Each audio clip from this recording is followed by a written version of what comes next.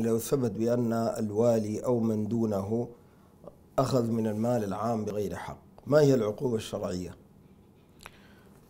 بين الله سبحانه وتعالى خطر الغلول الأخروي حتى نعم. ولو كان الغال نبيا قال نعم. وما كان لنبي أن يغل ما كان لنبي أن يغل ومن يغلل يأتي بما, يأتي بما غل يوم القيامة ثم توفى كل نفس ما كسبت نعم لا يظلمون فهو يأتي به يوم القيامة يحمله الله وهو ملتصق برقبته. مفضوحا.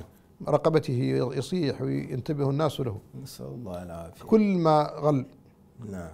انظر إلى الذكر النبوي حتى ذكر أصوات البهائم. نعم الحمحمة والخوار والثغاء اي نعم. نعم. كلها ذكرها. سبحان الله.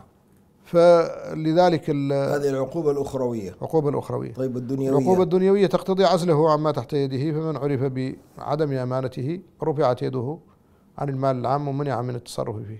وعزر عزر. لكن تعزيره عزله.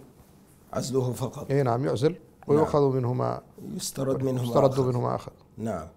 وقد حصل هذا في التاريخ الإسلامي في عدد من الأمراء الأمصار. الذين عرف منهم شيء من هذا فاسترد استرد منهم وعزلوا.